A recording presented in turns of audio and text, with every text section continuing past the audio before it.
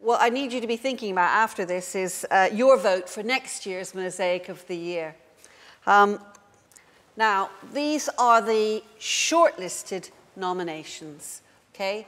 Uh, we had a good response, uh, and we've shortlisted those people who, um, whose work really demonstrated that they communicated uh, the, the beauty and richness of mosaic into a wider world. Uh, the first one is Emma Biggs for her fountain Rill in, um, I think it's in Staffordshire, not sure. Sheffield, that's it. And um, again, every single one of these nominees is a master of their, of their, um, of their medium. The second is Miley Christie, Miley Christie, whose fabulous work you remember from last year. This year, this is the passion flower that stole the Chelsea Flower Show. Um, absolutely fabulous in, in scale and in concept. Now, this list, the list you saw when we started, is going to be up on the BAMM website, if not tomorrow, then the day after. And I'd love you to have a look at the rest of the pictures surrounding these, because I had to select just a few. Um, the next is Tessa Hunkin, whose work is uh, an ongoing project called Shepherdess Walk. It's about a five minute walk from, um, uh, it's either Dalston or, um, uh, which one? Yeah, only a few minutes from Old Street. It's well worth a look, um, not only for its beauty, its appropriateness, its dedication to the community, um, but it's just a beautiful, beautiful, beautiful thing to see. Taking traditional mosaic medium and uh, the local uh, disadvantaged community and, and making a beautiful setting locally. Well, luckily, this is the Oliver Budd restoration of his father's mosaic in Birmingham, and he was nominated this year for his work at taking it down and restoring it. It's a beautiful large work in Mosaics Multi.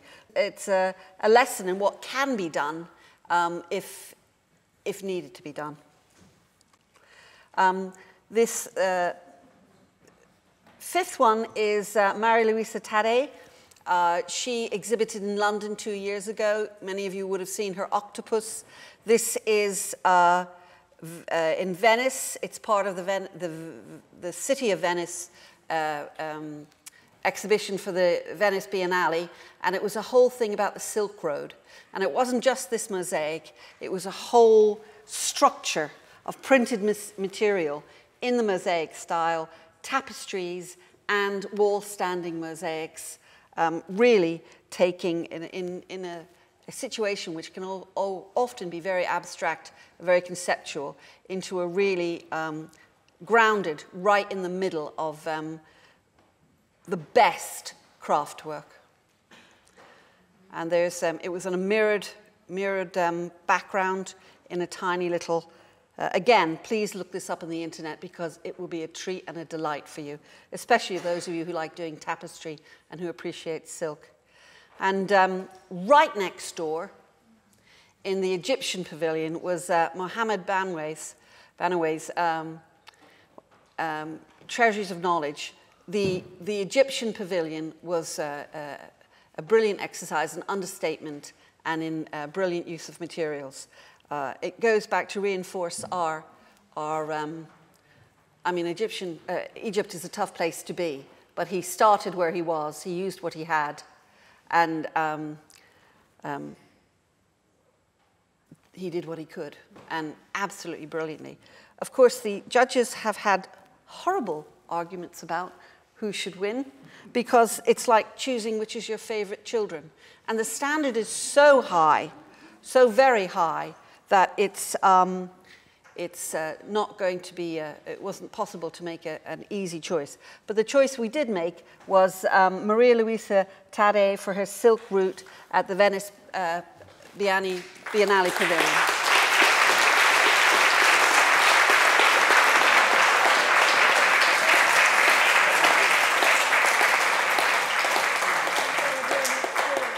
And I, I hope we've all had a wonderful day. I've had a wonderful day, and I've been so pleased to be here. And if we know we're going to be here next year, we can build on that. Exhibitions, uh, visits, everything, and everyone contributing. Thank you.